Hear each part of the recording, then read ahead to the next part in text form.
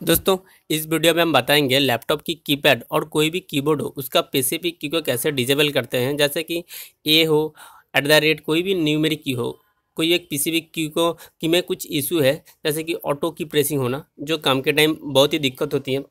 इस टाइप का प्रॉब्लम है तो आप कैसे उसको बिना खर्चे में उसको सॉल्यूशन कैसे करते हैं, इसका प्रोसेस हम इस वीडियो में दिखाएँगे। और दोस्तों, कीपैड के वजह से कई तरह प्रॉब्लम होती है। और दोस्तों, जो प्रॉब्लम हो रही है, वो कीपैड के वजह से हो रही है ना और कोई दूसरा चीज़ के वजह से हो रही है, वो कैसे फाइंड आउट करे और उसको वो सॉल्यूशन कैसे करे? बिना खर्चे में और कम खर्चे में कई तरह प्रोसेस का मैंने वीडियो अपलोड कर चुका हूँ। दोस्तों, अब अभी तक वो प्रोसेस नहीं देखा तो प्लीज़ देख लीजिए डिस्क्रिप्शन में लिंक मिल जाएगा। दोस्तों प्रोसेस को आगे करते हैं। दोस्तों, मेरा सिस्टम में अभी जो इशू है, मैं कोई भी एक ऐप्स ओपन करना चाहता हूँ तो अब दूसरा कोई ऐप्स ओपन हो जाती है। जैसे कि मैं अभी माइक्रोसॉफ्ट एज को ओपन करने के लिए क्लिक किया था बट अभी इसको ओपन हो गया। और जैसे ज़्यादा प्रॉब्लम होती है कि ऑटो की प्रेसिंग होना मतलब रान में जाए, कोई भी शार्ट्स में जाए तो ऑटोमेटिक एक की प्रेस होती है। तो अब आपका सिस्टम में जो ऑटोमेटिक की प्रेस हो रही है, मेरा सिस्टम में नहीं हो रहा है, मैं मैनुअली आपको दिखाया, पर आपका सिस्टम में जो प्रेस हो रही है ऑटोमेटिक उसको वो स्पेसिफिक की को आप डिजेबल कर सकते हैं। डिजेबल करके ये इशू सॉल्व हो जाएगी, और आपको जो की डिजेबल किया वो कि काम के टाइम यूज़ करना है तो आप रान में जाके वर्चुअल की ओपन करके अब वो वाला की यूज़ कर सकते हैं।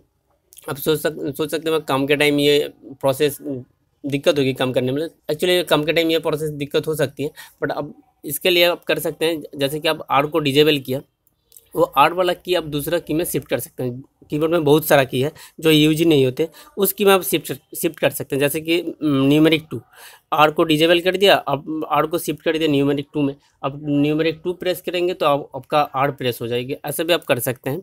हम आगे प्रोसेस दिखाएँगे। और दोस्तों, आपको इस टाइप का इंटरेस्टिंग वीडियो पसंद है तो आप मेरे चैनल में जाके चेक कीजिए, क्योंकि इस टाइप का बहुत सारा इंटरेस्टिंग वीडियो मैंने अपलोड कर चुका हूँ और आगे भी अपलोड करने वाला हूँ। और दोस्तों वीडियो अच्छा लगा तो लाइक कमेंट ज़रूर करें। चलो दोस्तों वीडियो को आगे करते हैं।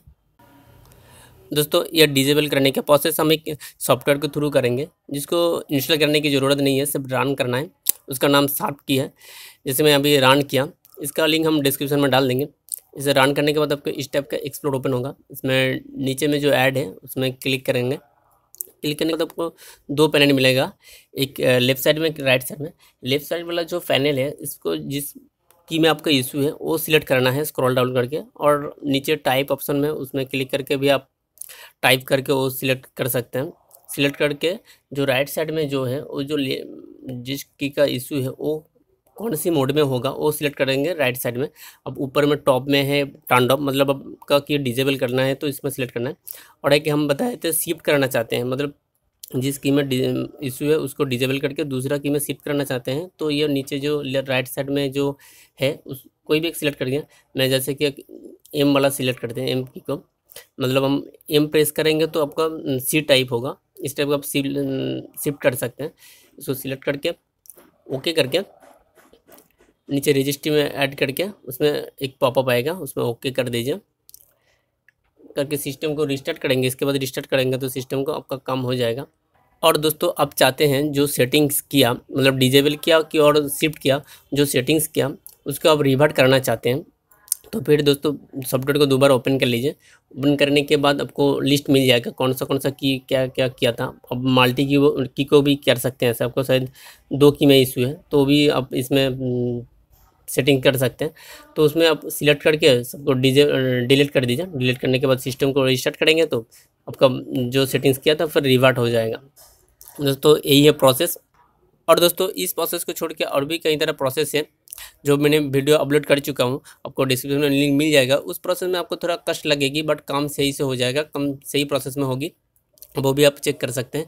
और दोस्तों, वीडियो अच्छा लगा तो लाइक कमेंट ज़रूर करें। और दोस्तों, आप किसी भी तरह प्रॉब्लम फेस किया, वो भी कमेंट करिए। मैं आपको ज़रूर मदद करूँगा। और दोस्तों प्लीज़ सब्सक्राइब करें, क्योंकि आपकी छोटी सी मदद से ये चैनल ग्रो हो पाएगा और आपको इस टाइप के इंटरेस्टिंग वीडियो की इन्फॉर्मेशन मिलती रहेगी। चलिए दोस्तों नेक्स्ट वीडियो मिलते हैं। Thank you